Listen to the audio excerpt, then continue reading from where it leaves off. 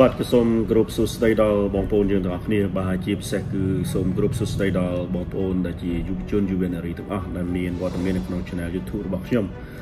បាទដូចជាខ្ញុំធ្លាប់បានគោរពជំរាបជូនដល់បងប្អូនយើងទាំងអស់គ្នាផងដែរថា Channel YouTube របស់ខ្ញុំគឺខ្ញុំបង្កើតឡើងដើម្បីចែករំលែកព័ត៌មានពាក់ព័ន្ធជាមួយនឹងអាហារូបករណ៍ទៅកាន់សាធារណរដ្ឋជាមនិតចិនបាទអញ្ចឹងសម្រាប់ថ្ងៃនេះផងដែរក៏មិនខុសពីថ្ងៃមុនផងដែរហើយខ្ញុំនឹងធ្វើការចែករំលែក សួរថាតើបេក្ខជនដែលប្រឡងជាប់ជាជ័យលាភីទៅកាន់សាធារណរដ្ឋជាមនិតចិន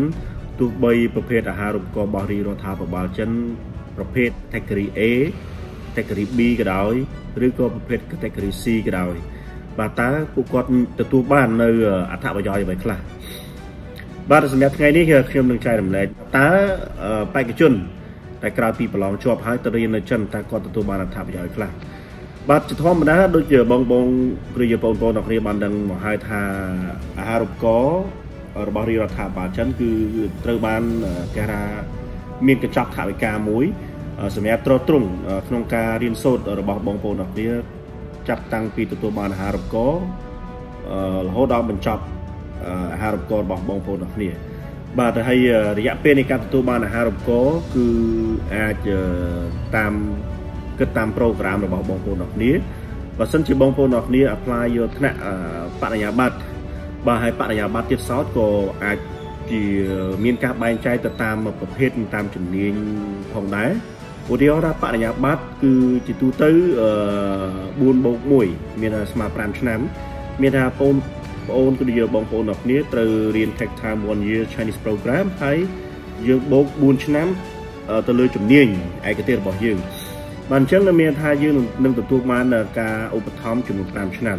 ប៉ុន្តែមុខជំនាញមួយចំនួនទៀតដូចឧទាហរណ៍ពាក់ព័ន្ធជាមួយនឹងជំនាញពេទ្យពាក់ព័ន្ធនឹងជំនាញផ្សេងមួយទៀតដែលដែល take time រហូតដល់6ឆ្នាំយើងអាចនិយាយថា Chinese program 1 year Chinese program ហើយនឹង5 years majors program បាទហើយយើងរៀន6ឆ្នាំបាទអញ្ចឹងការផ្ដល់ជូនអាហារូបករណ៍របស់យើងក៏ខុសគ្នាផងដែរ បាទហើយសម្រាប់ថ្នាក់ Master ក៏យើងចែកចេញជាពីរប្រភេទដែរយើងសម្រាប់ជាលក្ខណៈ Chinese program និង International program បងប្អូនយើងដឹងមកហើយថា Chinese program គឺយើងត្រូវ take time យ៉ាងហោចណាស់3ឆ្នាំទៅ4ឆ្នាំប្រសិនជាបងប្អូនអរគ្នាចេះជាភាសាចិនស្រាប់ដែលមាន ASK ហើយណាឧទាហរណ៍ level 4ឬក៏ level 5គឺបងប្អូនអរគ្នា go to uh, major directly តែម្ដង បាទប៉ុន្តែបើសិនជាបងប្អូនអត់មាន ASK level 4ឬក៏ level 5ទេគឺបងប្អូនអរគ្នាត្រូវ take time one year Chinese program to enroll ហើយយើងធ្វើការប្រឡង test សមត្ថភាពយកសញ្ញាបត្រ ASK ហ្នឹងទៅ submit នៅ Student International Affair ដើម្បី Student International Affair ហ្នឹងបន្តនីតិវិធីឲ្យយើងទៅចូលនៅស៊ីរៀនរបស់យើងមានថា department ដែលយើង apply ទៅរៀនជំនាញនោះ បាទអញ្ចឹងបើសិនយើងអត់មានជាគេថាអត់មាន ASK ទេគឺបងប្អូនអរគ្នាត្រូវ master ដែលរៀនជា Chinese program ទៅ take time 4ឆ្នាំ1ឆ្នាំ គឺយើងរៀនភាសា3ឆ្នាំទៀតយើងរៀនជំនាញបូកផ្សំជាមួយនឹងការធ្វើ research របស់យើងបាទនេះពាក់ព័ន្ធជាមួយថ្នាក់ master អញ្ចឹងបងប្អូនអ្នកគ្នាបានអត្ថប្រយោជន៍4ឆ្នាំទៅលើអាហារូបករណ៍នោះគឺ full scholarship បាទសម្រាប់ថ្នាក់ PhD ជាទូទៅគឺយ៉ាងហោចណាស់យើងហោចណាស់3ឆ្នាំ បាទយើងហោចណាស់3ឆ្នាំហើយយើងត្រូវបូកជាមួយនឹងភាសាមួយឆ្នាំទៀត4ឆ្នាំហើយសម្រាប់បងប្អូនដែល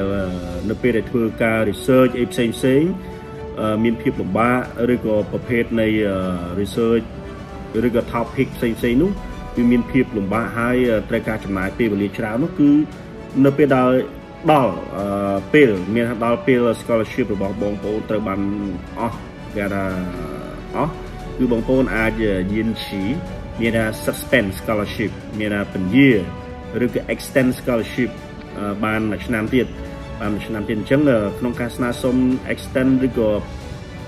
ឬក៏ពន្យាឬក៏ស្នើសុំ scholarship ឡើងវិញនោះគឺបងប្អូនអរគ្នាត្រូវធ្វើការដាក់ស្នើសុំ scholarship នឹងតាមរយៈសាកលវិទ្យាល័យរបស់បងប្អូនហើយសាកលវិទ្យាល័យរបស់បងប្អូននឹងធ្វើការវាយតម្លៃទៅលើ performance របស់បងប្អូនហើយគេនឹងដាក់ស្នើទៅខាង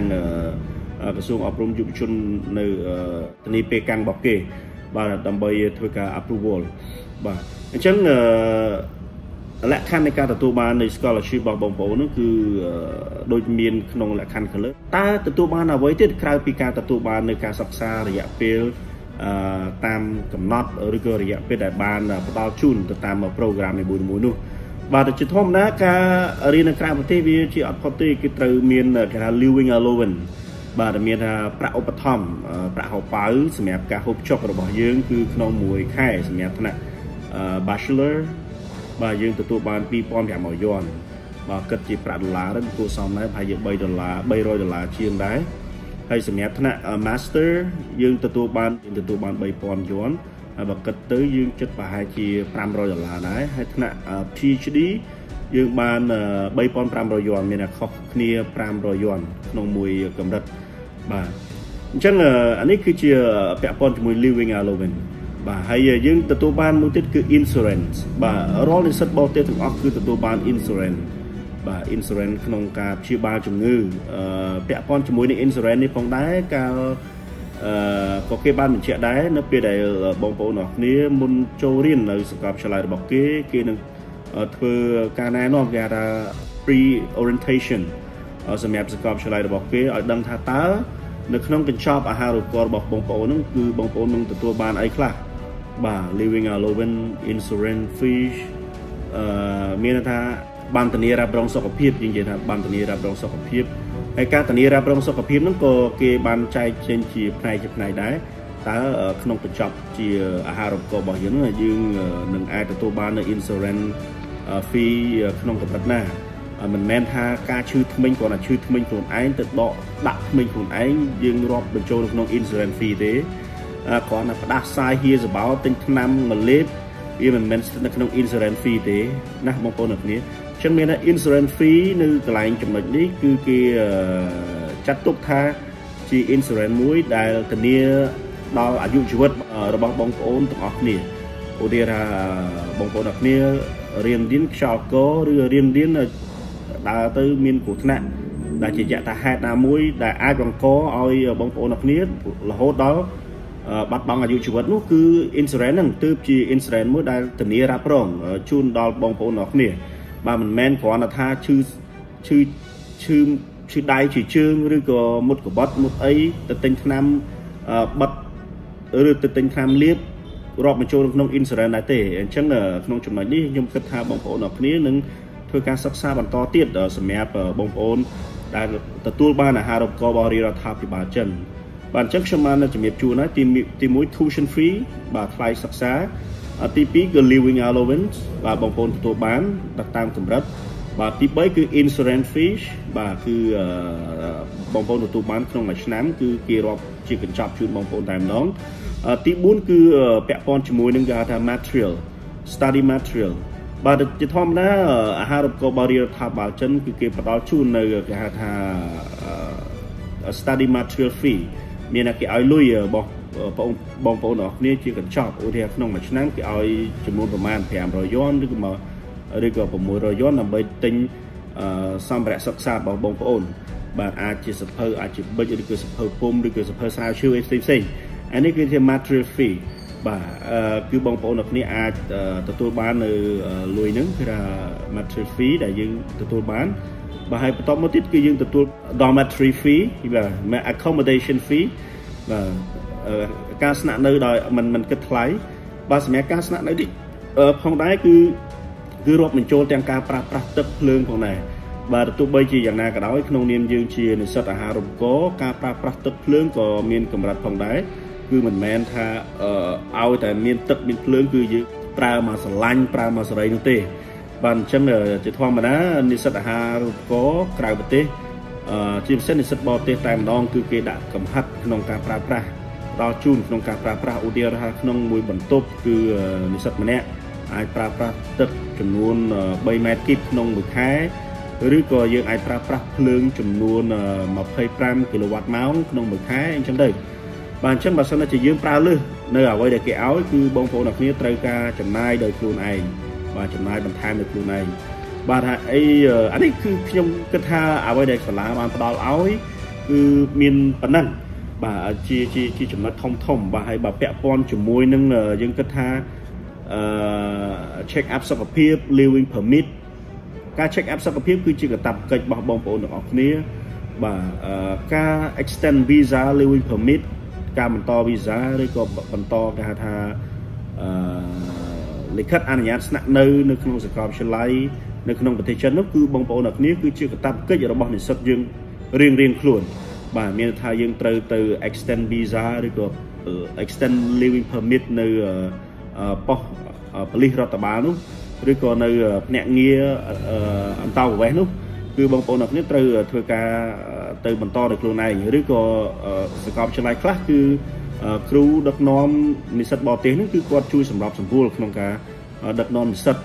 ទៅធ្វើការងារហ្នឹងបាទមិនអញ្ចឹងទេគឺយើងមានរៀនច្បងរបស់យើងដែលជានិស្សិតកម្ពុជារបស់យើងរៀននៅសាកលវិទ្យាល័យហ្នឹងឬក៏រៀននៅសាកលវិទ្យាល័យផ្សេងក៏ដោយ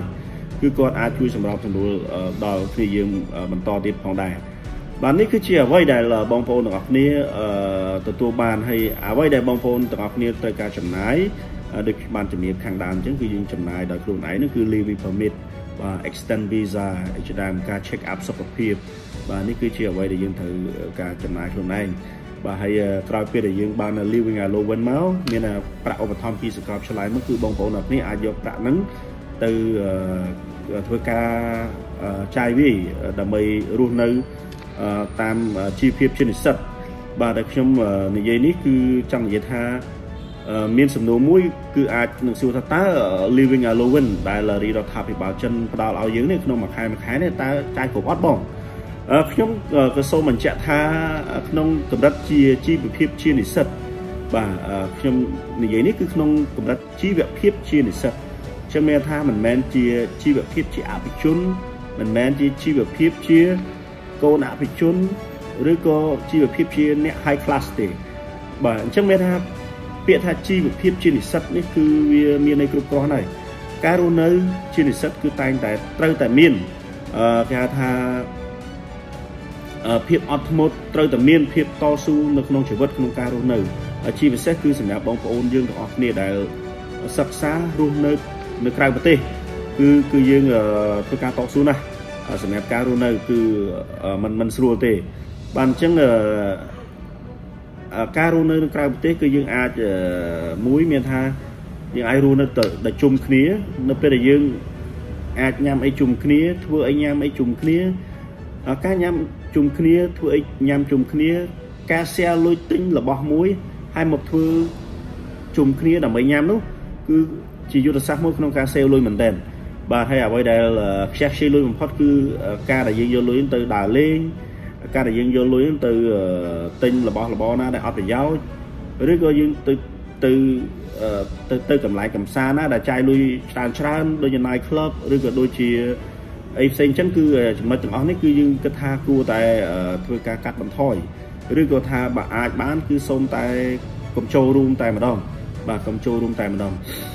បាទជាជាចុងបញ្ចប់ខ្ញុំបាទក៏សូមគោរពអរគុណដល់បងប្អូនយើងទាំងអស់គ្នា